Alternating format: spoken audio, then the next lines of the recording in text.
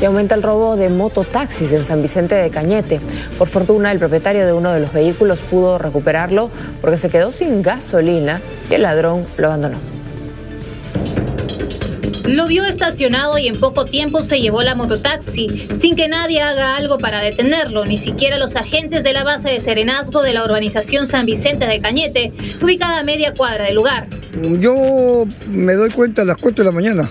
A ver, sale habitualmente a trabajar? a ver las cosas y veo que me faltaba pues la, la motocadena y ya pues comencé a buscar, pero fue algo que no me dio resultado. Sin embargo, el ladrón no pudo completar el robo. Poco después tuvo que abandonar el vehículo robado porque este se quedó sin combustible. Así lo encontré el camino yendo por Hualcará, o que diga para, para Carmen Alto, pasando el cementerio de Imperial.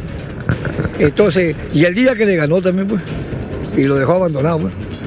Son varios los robos de vehículos que denuncian en San Vicente de Cañete, por lo que los residentes piden que se refuerce la seguridad.